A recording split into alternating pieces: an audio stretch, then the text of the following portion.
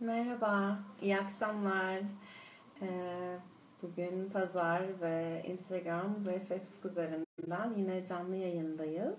Ee, bugün 16. gündü. Umarım hepiniz keyifli bir gün geçirdiniz.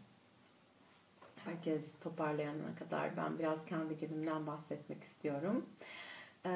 Bugün ben günüydü. Yani her biriniz için kendinize vakit ayıracağınız, sevdiğiniz şeyleri yapacağınız bir gündü. Ben de bugün güne işte sabah ritüelimle başladım. Yoga yaptım. Arkasından güzel bir kahvaltı yaptım ve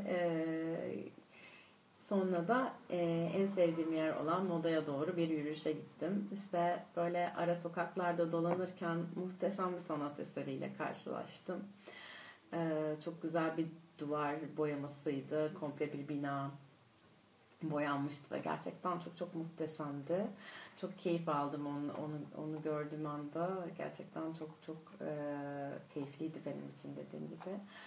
E, sonrasında e, modada işte vakit geçirdim ve sevdiğim şeyleri yaptım. Sonrasında da e, bir arkadaşımla beraberdim ilerleyen saatlerde.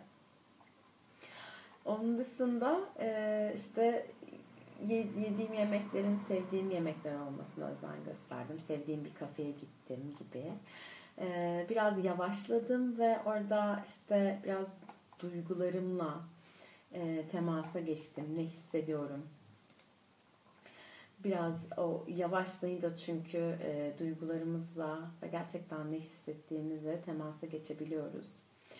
E, bunu biraz deneyimledim yeniden ve her zaman yaptığım gibi ama kendine vakit ayırdığın zaman ve e, keyif aldığın zaman daha çok kendinle temasa geçebiliyorsun. E, öyle bir şeye de fırsat verdim kendime. Sizin gününüz nasıl geçti? Ee, umarım keyifliydi. Ee, neler yaptınız çok merak ediyorum. Bir yandan da grupta paylaşıyorum şu anda.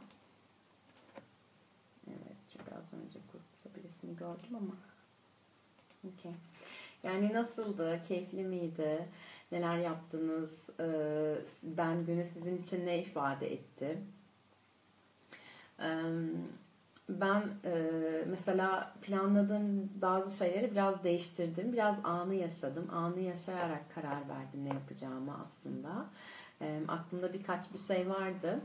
Mesela e, e, masaj vardı mesela e, aklımda ama o kadar keyifli bir şömine başı keyfi yaptım ki e, orayı bırakmak istemedim.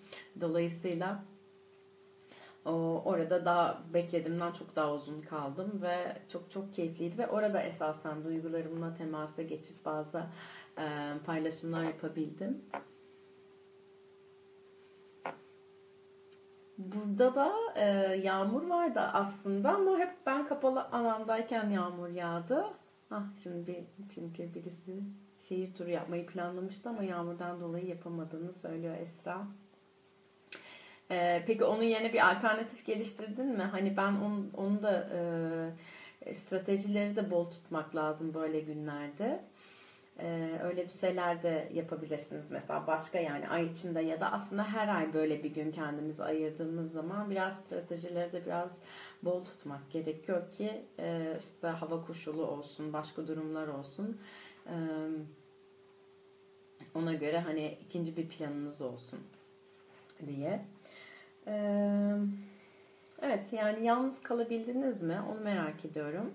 Ben de işte ilk birkaç saat yalnızdım. Sonra bir arkadaşımla buluştum. Uzun zamandır planladığımız bir şeydi.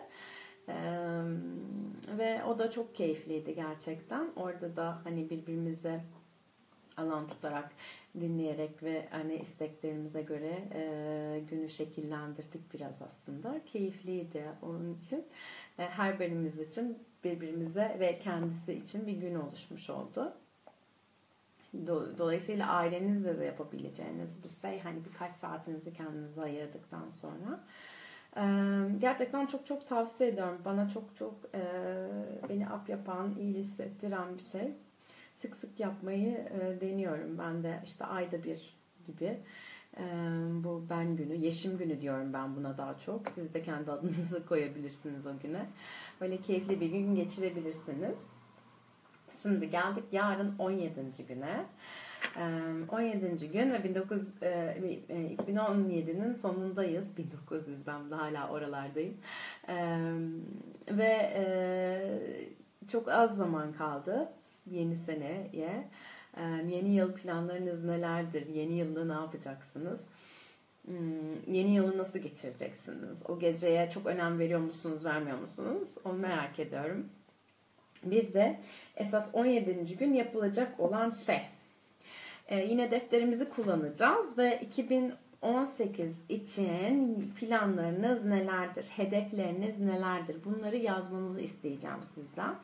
Özellikle e, farklı şeyler olabilir. Yani bu e, hedefler kişisel hedef olabilir ya da e, profesyonel bir hedef olabilir. İşte bedeninizle ilgili bir hedef olabilir, bir kilo hedefi olabilir. E, her bir şey olabilir. Ha yeni yıla önem vermiyor. evet. Ee, evet yani işte herkes için farklı. Bazısı için yeni yıl aileyle bir araya gelmek oluyor. Bazısı çok abartılı bulup işte sıradan bir gün olduğunu düşünüyor.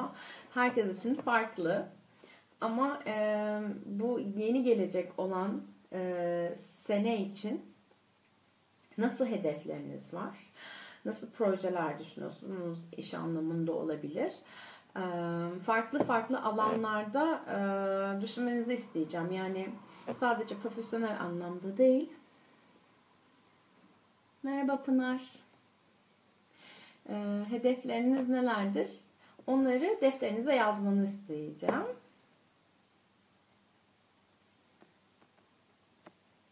Okay. Yeni yılın sıradan bir gün daha olduğunu yazan bir kişi daha var burada.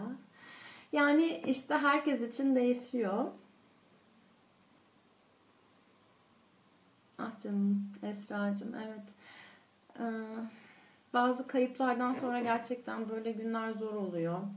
Ya da işte ne bileyim e, taşındıysan ya da başka birisi için yani e, ayrılıklarda olsun işte anne baba vefatlarında gerçekten bayramlarda yılbaşları da gerçekten zor olabiliyor.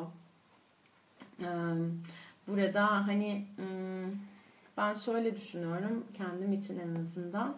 Ee, ve şey hani çok sıradan sıkıcı bir gün. Çünkü eskiden hani şöyle güzeldi böyle güzeldi. Ama o, o geçirirken sen nasılsın? Hani o, o çok kıymetli. Yani hani şu anda artık e, sıradanlaştı. Eskisi gibi olmadığı için ama e, onu geçirirken canın acıyor mu? Hani orası gerçekten çok kıymetli. Eğer öyle olacağını hissediyorsan bunun için nasıl bir strateji geliştirebilirsin? Yani hani bunu ben keşfettim. Yani çünkü mesela ben de aynı şeyi bazı günlerde yaşıyorum. Ve hani işte ya sıradan gücü ondan biraz bir kaçma eylemi oluyor. Senin için tamamen farklı olabilir ama ondan sonra da aslında orada birçok ihtiyacımın olduğu ortaya çıkıyor. O günde biraz sarıl, biraz sarmalanmak, desteklenmek, aileyle olma ihtiyacı duyuyorum. Öyle günlerde bazen. Bu ihtiyaçlarımı karşılayabiliyor muyum? Karşılamak için ne yapabilirim? Hani onu planlayabiliriz bazen. Bilmiyorum senin için nasıl. Hani bu söylediklerim sana ne ifade ediyor şu anda e, bilemiyorum ama ayrıca özelden de konuşuruz bunu. E, yani herkes için sonuçta farklı şeyler ifade ediyor. E, bazen zor olabiliyor. Bazen zor olduğu için e, sıradan bir gün gibi geliyor. E, ve dediğim gibi e, yarın yapacağımız şey defterimize hedeflerimizi yazmak olacak yeni yılla ilgili. Ee, ne bir de hedefle alakalı olarak de nasıl hissetmek istiyoruz? Yani nasıl görünmek istiyoruz? Bedenimizde nasıl olmak istiyoruz? Yani bu hedefler birçok yönlü olabilir. Yani illaki çok böyle e, profesyonel olarak düşünmeyin. Tabii ki onları da yazın ama her tür hedefinizi oraya yazabilirsiniz. Ee, ve bu duygulara gitmek için neler yapabilirsiniz? Nelere ihtiyacınız var? Hani bu sene bu bu kararları almak istiyorum. Belli kararlar olabilir. Ee, bunları yazabilirsiniz. Yazacağımız yer e, yine hani defterimiz olur ki çünkü şimdi böyle bir şey yaptık. Hani en bu en e, mükemmel günü o deftere yazmıştık hatırlarsanız. Evet ve bizi heyecanlandıran şeyleri yazmıştık. Meditasyon sonrası hissettiklerimizi yine defterimize yazdık. Ve hani bu hepsi toparlandığında aslında hedeflere doğru da gidilebiliyor. Hedefleri yazarken onlara da bir göz atmanızı isteyeceğim. Yani gerçekten sizi hani ne heyecanlandırdı, meditasyon sonrası neler hissettiniz meditasyonlar sonrası da çünkü çok yaratıcılığa gidilebilir. Ben birçok projemi meditasyon sonrası ya da meditasyon sırasında ulaştım. Onun için çok çok değerli o iç sesi dinlediğiniz anlar. Bunları da yazabilirsiniz yine aynı şekilde. Yani onlardan da faydalanabilirsiniz hedeflerinizi yazarken.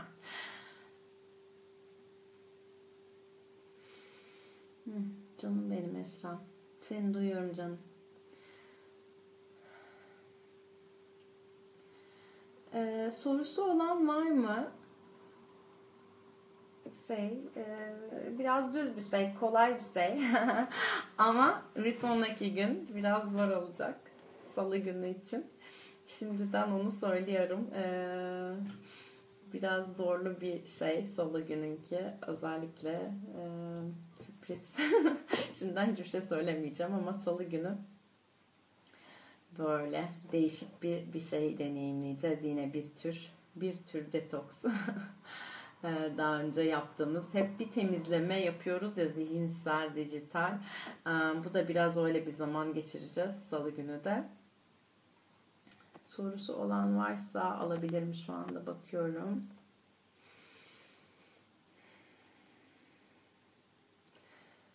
Canım Esra. Ee, seni çok, çok iyi duyuyorum. Ee, ayrıca sana yazmak istiyorum özelden tekrardan. Seni seviyorum Esra. Evet. Sanırım sorusu olan yok. Ben böyle masaya çarptıkça bir gıcırdama sesi çıkıyor videoda ama. Evet galiba açık değil mi yarınki şey? E, hedeflerimizi yazıyoruz defterimize. Bunu yazarken dediğim gibi daha önce yazdığımız şeylere göz atabiliriz. Bizi neler heyecanlandırdı. E, ve işte hani şükürlerimiz hepsi hepsi aslında katkı sağlayacak şeyler. Evet kendimizi onurlandırmıştık. Mesela geçen sene neler başarmıştık bunları yazmıştık. Hani onun da çok çok şey var. Hani bu, bu yazdığımız her şey aslında bu hedeflerimiz için e, bize e, artı bir şey daha sağlayabilir. O yüzden lütfen deftere yazdıklarınızda bir bakın. Özellikle en muazzam gün. Yani en muazzam günden o oraya gitmek için hedeflerinize ne alabilirsiniz? Hangisi sizin için daha kolay görünüyor? Ona da lütfen onlara da lütfen bakın yazabildiyseniz eğer en muazzam gününüzü yazamadıysanız onun için de yeniden bir fırsat. Yani yazamadığınız şeyleri yapamadığınız şeyleri lütfen diğer günlerde yapmaya çalışın. Aynı zamanda hani oradan da çünkü size katkı gelecektir. Okey. Herhalde bu gecelik bu, bu kadar. Biraz geciktim kusura bakmayın. Ee, dışarıda olduğum için şarjlar böyle hem e, iki şey birden şarjları azdı. O yüzden biraz şarj etmek istedim. Okay. O zaman size çok keyifli bir pazar akşamı diliyorum ve yarın pazartesi haftanın ilk günü çalışanlar için. Gece ritüellerinizi devam ettiriyor musunuz? Gece ritüellerinizden bir katkı sağlayabildiniz mi? Benim için çok çok kıymetli oldu. Ben de yeniden işte birçok şey kattım gece ritüelime. ve nasıl oluyor? Yani işte sabah nasıl uyanıyorsunuz? Bunun katkısını görebiliyor musunuz? Onu da çok merak ediyorum. Bana lütfen yazmaya devam edin.